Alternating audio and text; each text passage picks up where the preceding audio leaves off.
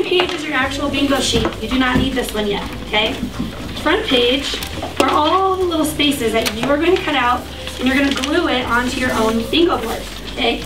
You should probably not put them in the same places as the person next to you because when we play the bingo game, you don't want somebody else to get bingo at the same time as you, okay? Raise your hand if you've never played bingo before. Oh. Three people? Okay, then I will help you guys with your boards.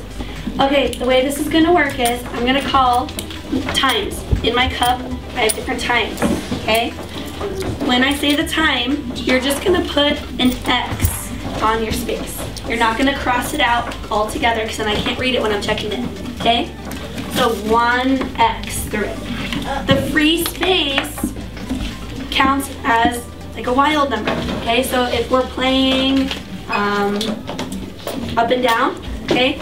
You have, if you're working, if you have this one, and this one, and this one, and this one, X, that would count as a bingo, because the free space counts as free space.